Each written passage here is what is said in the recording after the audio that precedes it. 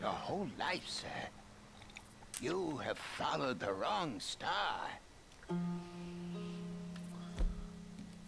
Okay. I ain't too sure what to make of that.